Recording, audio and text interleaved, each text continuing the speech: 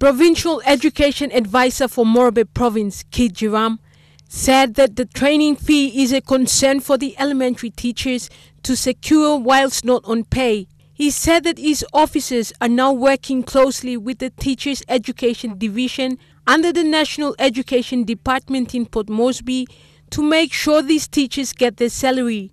Perhaps next week or so I would won't have to give a guarantee here, but it depends on the, uh, the available of the check.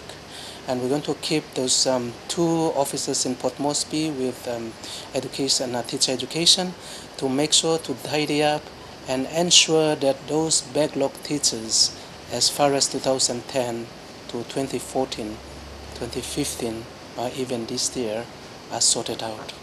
Furthermore, Jiram said that the teachers will be advised by the Provincial Education Board regarding the cost of the training fee after PEB consult on the decision before training commences in June this year. We soon we will um, ask the coordinator, provincial coordinator, Mr. Harin Koreka, who is at the University of Goroka doing studies, to come back and explain to the board how he has came up with that calculation that gave him that cost.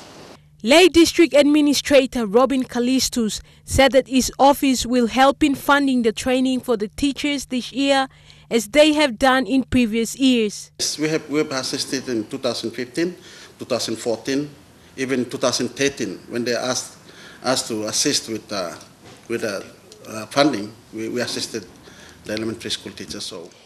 District Education Manager Kaumulaga said that elementary education is the foundation of the education system and teachers must be well trained and paid in order to deliver quality education to the younger population of this country.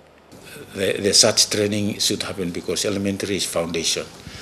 Julie Badui Owa, National MTV News, Lae.